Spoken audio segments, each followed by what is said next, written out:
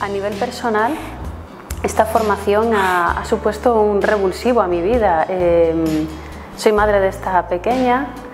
tengo otra niña más mayor y el embarazo de esta niña eh, me lo he pasado eh, haciendo la formación anual porque la hice en 2016 y Cia, que es mi hija, ha nacido justo eh, en diciembre cuando terminaba la formación de, de Terra Mater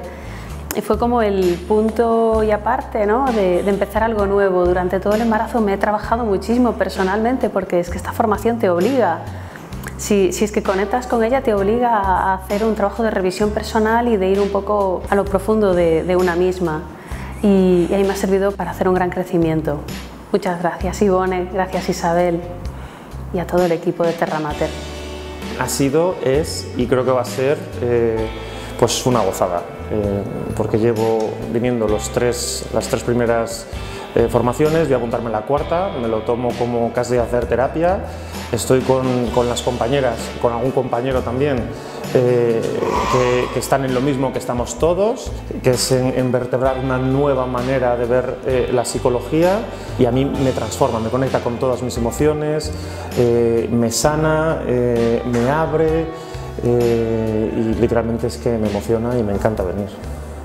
También ha significado un tremendo crecimiento de revisión de temas que, que siempre sirve estar revisando, eh, la infancia, el cómo uno está viviendo la propia maternidad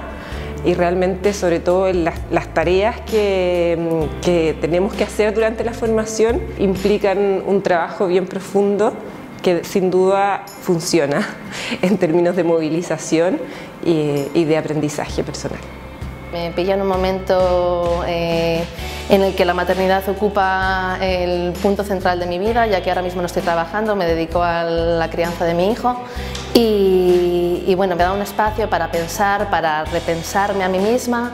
y, también para pensar eh, cómo quiero que, o cómo deseo que, que sean las cosas eh, si me planteo un, siguiente embarazo, eh, un nuevo parto, en fin, ha sido un espacio de reflexión y de autoconocimiento también. Pues nuevamente ha sido un nuevo contacto con mi, en este caso ha sido con mi, con mi, con mi parto, ¿no? desde reconocer cosas que no tenía ni idea de cómo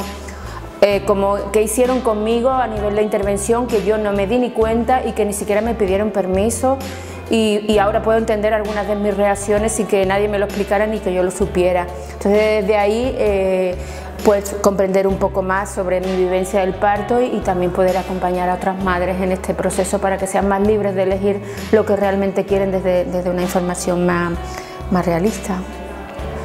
para mí ha supuesto un descubrimiento de cómo mis propias relaciones familiares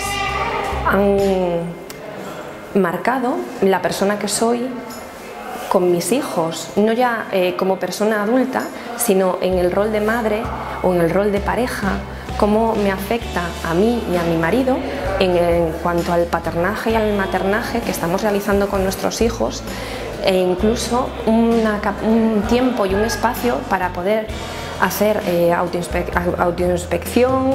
em, revalorización, em, descubrir nuevas capacidades y también ser capaces de valorar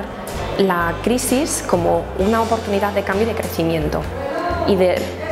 tener la oportunidad de restaurar el vínculo o los problemas que se pueden generar durante la primera infancia. Y eso también me da una tranquilidad muy grande